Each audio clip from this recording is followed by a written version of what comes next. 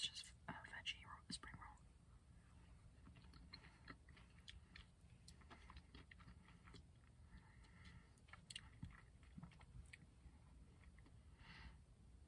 The sauce that it's in is really